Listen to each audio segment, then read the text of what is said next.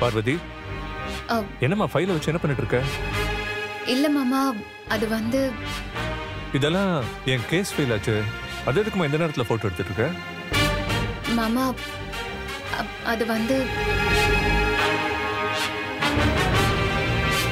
சொல்றேன்னு கோவப்படாதீங்க மாமா. வாசல்ல அஜய் நிக்கிறான்.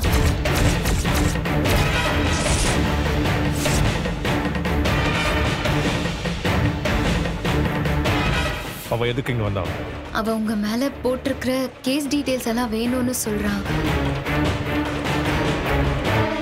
அவனும் அதை ஸ்டடி பண்ணி ஏதாவது ஹெல்ப் பண்ண முடியுமான்னு செக் பண்றதா சொன்னான் அதான் நான் அவனுக்கு கொடுக்கலான்னு. பார்வதி என்னம்மா? எல்லாரும் சேர்ந்து விளையாடிட்டு இருக்கீங்களா? அவன் யாருன்னு தெரியும்ல? நமக்கு எதிராக ஆஜரா இருக்கிற லாயரோட மாப்பிளமா அவன் கிட்ட போய் ஏன் கேஸ் டீடைல்ஸ் கொடுக்கறேன்னு சொல்ற? அவன் முதல்ல உங்க பையன் மாமா.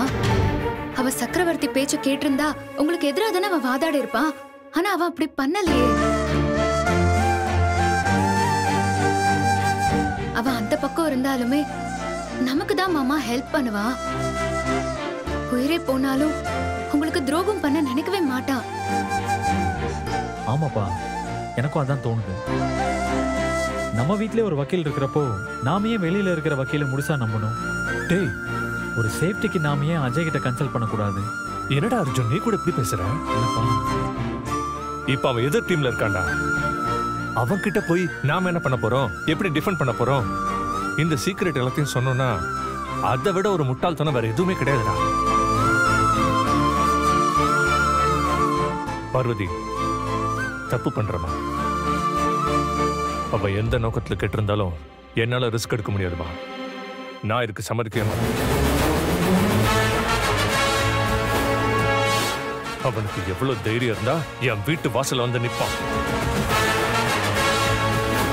திருந்த மாட்டான்.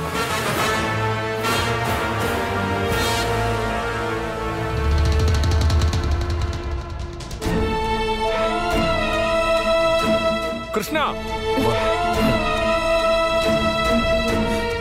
அஜய்